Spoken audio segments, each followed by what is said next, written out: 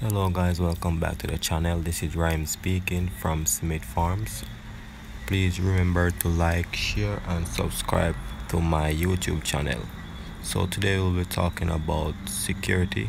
Actually I'm gonna give you the meaning of the word security. Alright so all my viewers who are watching this channel and you found this channel interesting I will give you the meaning of the word security. So in my definition the, the meaning of the word security is a state of being free from danger or threat. Let me repeat.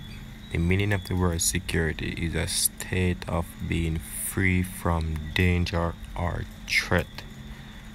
So all my viewers who are watching this channel and you have a better meaning or a better definition for the word security, what you could do, you could comment it under this video in the comment section i'll notify it and also the, the viewers who are watching this channel will know your definition all right